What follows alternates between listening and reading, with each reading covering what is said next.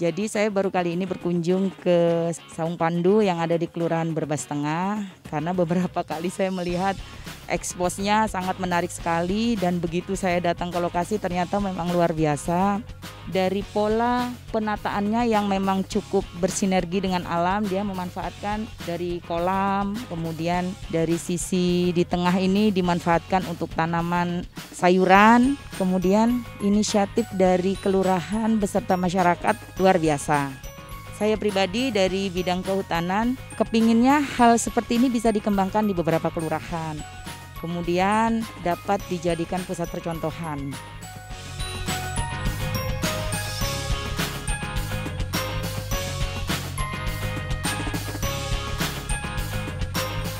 Kami ini sudah apa namanya menanam terong. Sudah dua bulan ini alhamdulillah sudah setiap minggu insya Allah kita sudah panen dengan harga bervariasi.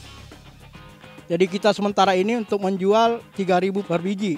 Ke depannya insya Allah masih banyak lagi yang akan kita tanam. Untuk penyiraman kebetulan dari limbah ikan maksudnya air ikan itu kita uh, untuk penyiraman sekalian pupuknya itu kita menggunakan organik jadi alhamdulillah terhindar dari kimia.